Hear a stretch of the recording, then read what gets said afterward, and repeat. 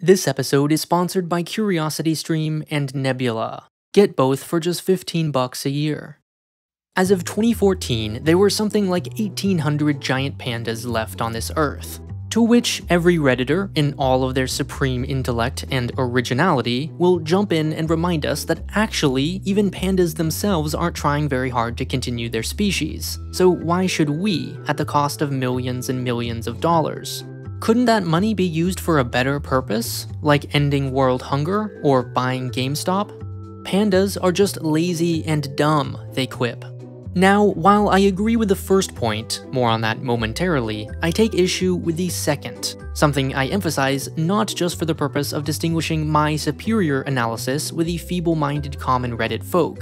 Pandas aren't dumb, and that's the problem. You've got it all wrong, Reddit. You poor confused puppets sit there clicking and clacking on your keyboard, supposedly spreading the word about lazy stoner pandas, when really you're just doing them a favor. Pandas, it turns out, are one big giant scam.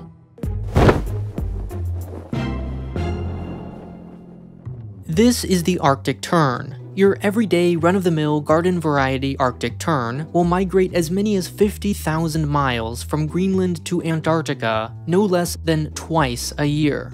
Each of these journeys will take at least 90 days, meaning they're almost always on the move, flapping those poor wings non-stop, like an airline determined to suck every dime from its investment. In a single lifetime, one bird will travel 1.5 million miles. Now, this is a giant panda. Every six months, it will get out of bed. It's so lazy that it will literally relieve itself while sleeping. In its entire lifetime, it will say please and thank you exactly zero times, even in Chinese. From the day of its birth to the day of its death, every panda is waited on by a team of sycophantic, high-paid advanced degree holders wanting nothing more than for King Panda to bless them with a single royal baby. Now let me ask you, which of these animals is smarter?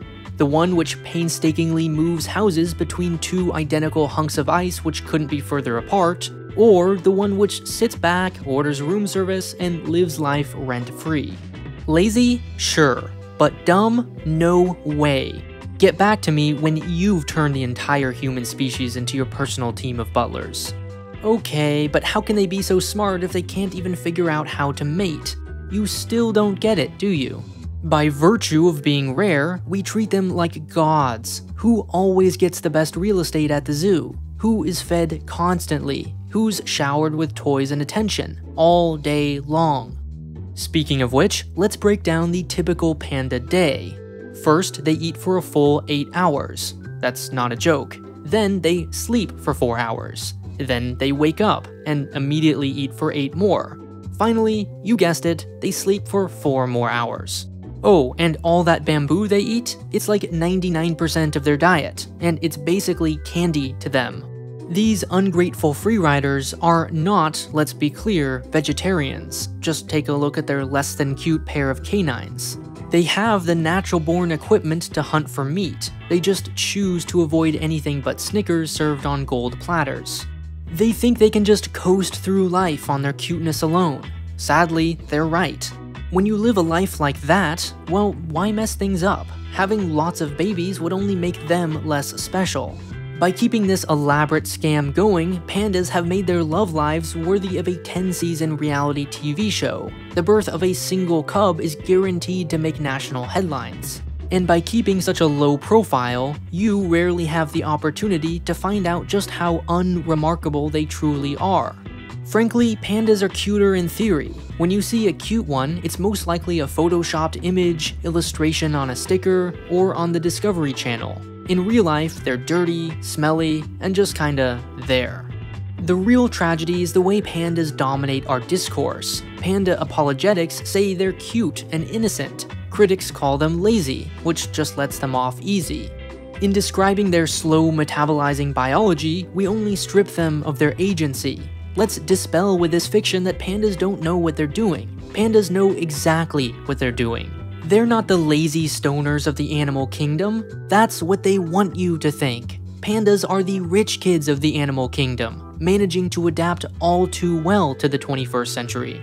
When you visit the zoo, you knowingly fork over your hard earned dollars to watch an entitled brat roll around in its feces. Stoners pay taxes, but pandas just take and take from the system, and they have no shame about it. Don't fall for it.